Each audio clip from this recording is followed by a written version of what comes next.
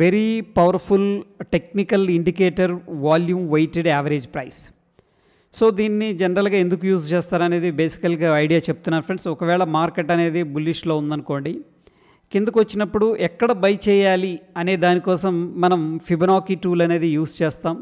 దాని తర్వాత friends technical indicator కావాలి అనుకుంటే వాల్యూమ్ వెయిటెడ్ యావరేజ్ ప్రైస్ అనేది యూస్ చేస్తాం. సో ఇది వాల్యూమ్ వెయిటెడ్ యావరేజ్ ప్రైస్ అనుకోండి ఇప్పుడు డ్రా చేసింది.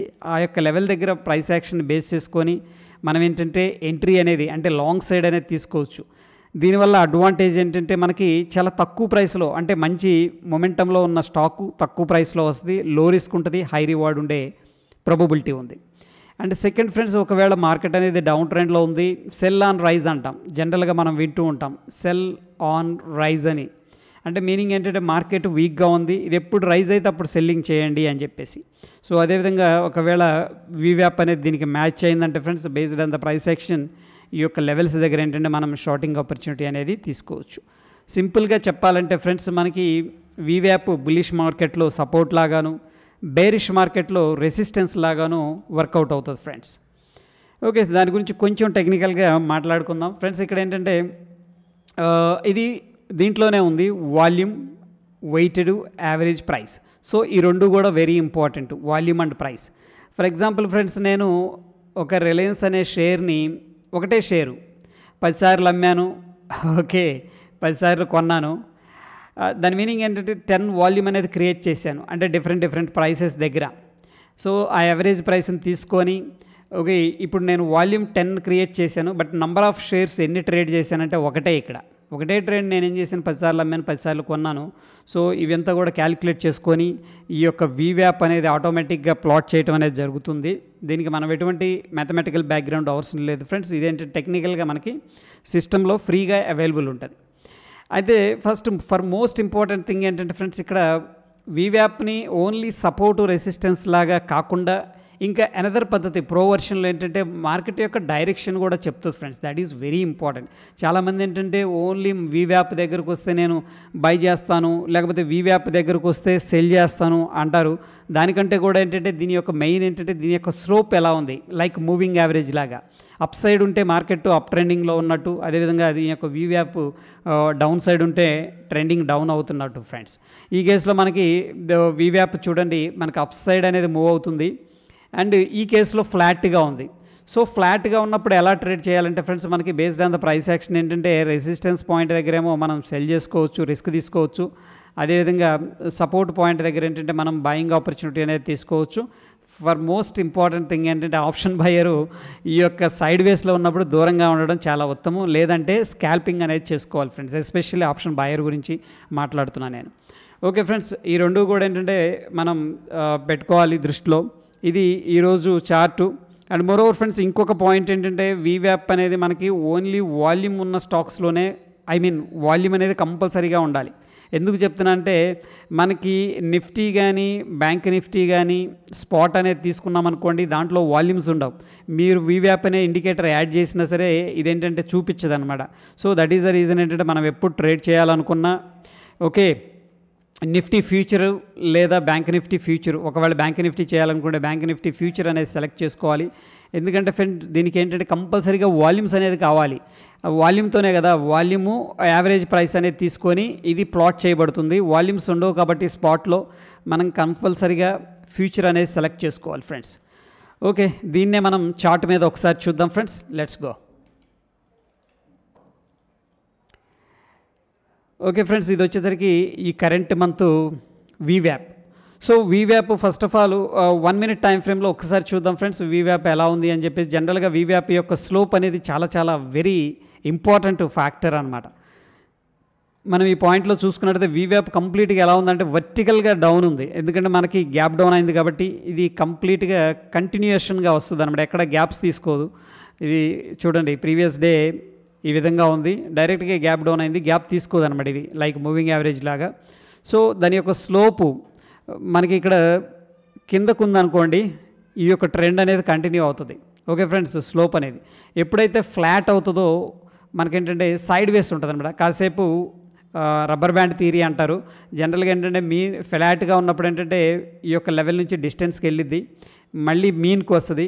ఒకవేళ కిందకి వెళ్తే మళ్ళీ మీన్కి వస్తుంది. Mean in the sense friends average price అనమాట ఇదంతా కూడా కన్సోల్టేషన్. మనకు హారిజెంటల్గా ఉంది వీవ్యాప్ అంటే బెటర్ ఏంటంటే ఆప్షన్స్ ఎస్పెషల్లీ బయింగ్ అనేది చేయొద్దు ఫ్రెండ్స్. ఓకేనా? ఆప్షన్స్ బై అనేది అవాయిడ్ చేయండి.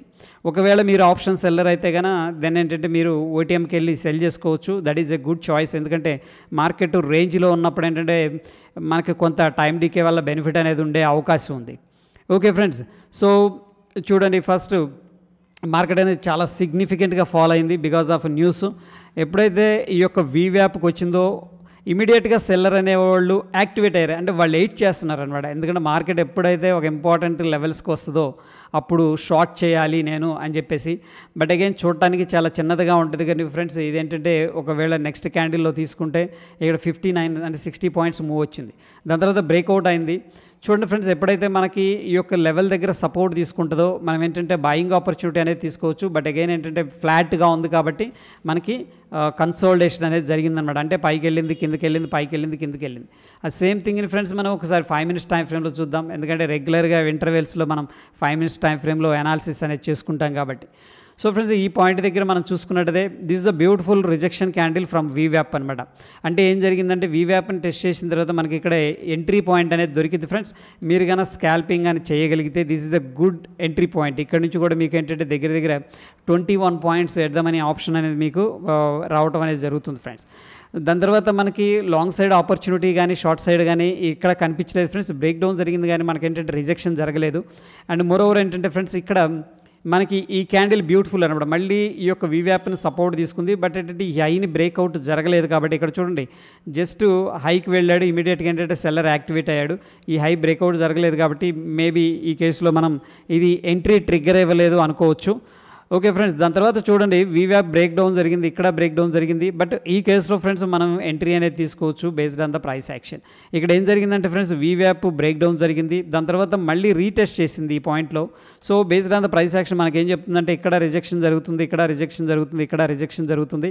సో మేబీ ఫాలోఅప్ క్యాండిల్లో అయినా ఒకవేళ ఎంట్రీ తీసుకోవాలనుకుంటే ఇక్కడ తీసుకోవచ్చు. లేదంటే ఈ పాయింట్ దగ్గర మనం ఈ కింద మనం ఎంట్రీ అనేది తీసుకోవచ్చు. ఈ స్వింగ్ పైన లేదంటే ఇక్కడ స్టాప్ లాస్ అనేది పెట్టుకోవచ్చు. సో జనరల్గా ఏంటంటే ఫ్రెండ్స్ మనకి వీవ్యాప్ అనేది వీక్ మార్కెట్లో రెసిస్టెన్స్ లాగా వర్కౌట్ అవుతుంది. డెఫినెట్గా అందులో సందేహమే లేదు. బట్ ఏంటంటే ప్రైస్ యాక్షన్తో కంబైన్ చేసుకోవడం అనేది వెరీ వెరీ ఇంపార్టెంట్ లేదు అంటే మీరు ఏదన్నా ఇండికేటర్ యూజ్ చేసుకో జనరల్గా ఏంటంటే friends twenty one days exponential moving average కూడా యూజ్ చేస్తారు. ఈ రెండింటి కాంబినేషన్ కూడా ఉపయోగపడుతుంది. అండ్ మోరోవర్ ఫ్రెండ్స్ మనకి ఇక్కడ చూడండి strong bullish candle with gap వచ్చింది. అంటే స్ట్రాంగ్ రికవర్ చేశారు. బట్ మనకి hanging man formation perfect hanging man అయితే ఇది ఫ్రెండ్స్ అంటే కొద్దిగా ఈ లెంత్ ఇక్కడ దాకా వస్తే బాగుండేది. బట్ అగైన్ ఏంటంటే మనకి వీవ్యాప్ దగ్గర ఏం జరుగుతుందంటే రిజెక్షన్ అనేది జరుగుతుంది క్లియర్గా ఫ్రెండ్స్ ఓకే సెకండ్ టైం కూడా రివిజిట్ చేసింది అండ్ ఫాలో అప్ క్యాండిల్ ఇది. మనం అగైన్ ఏం చేసుకోవచ్చు? కాల్ సెల్ చేసుకోవచ్చు.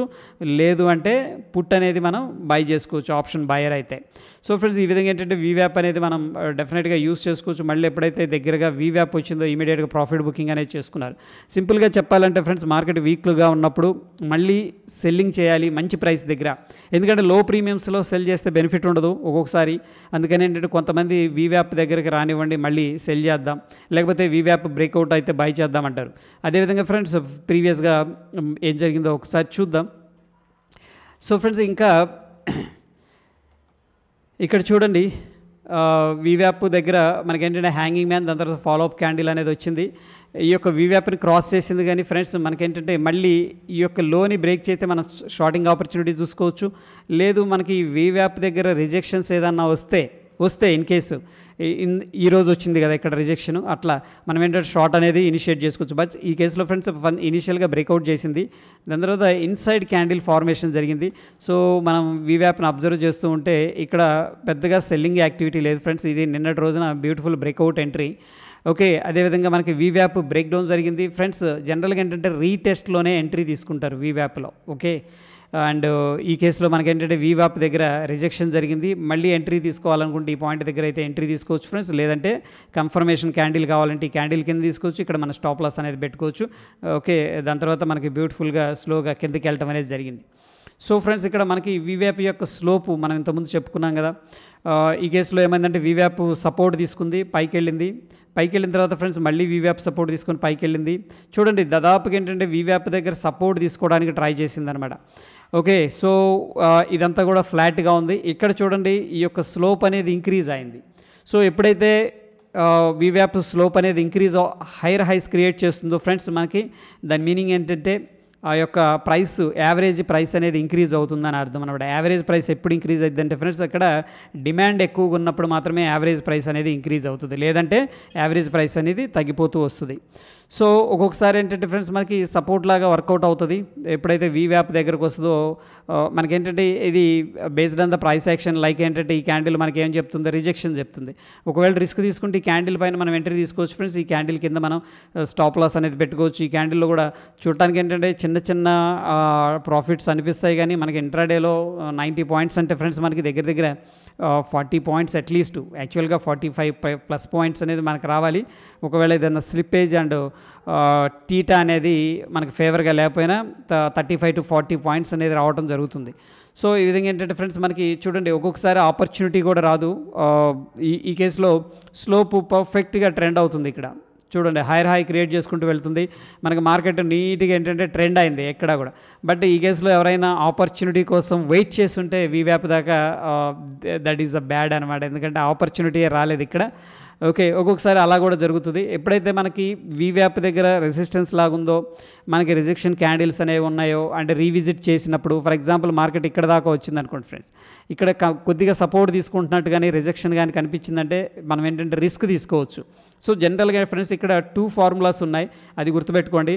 మార్కెట్ బుల్లిష్లో ఉందనుకోండి అప్పుడు మనకేంటంటే ఈ యొక్క రిట్రేస్మెంట్కి రాగానే బయర్స్ ఏం చేస్తారంటే ఆపర్చునిటీగా దాన్ని ఊహించుకొని ఇమీడియట్గా దాన్ని బయింగ్ చేయడానికి చూపిస్తారు ఫ్రెండ్స్. ఇది ఫస్ట్ ఫార్ములా.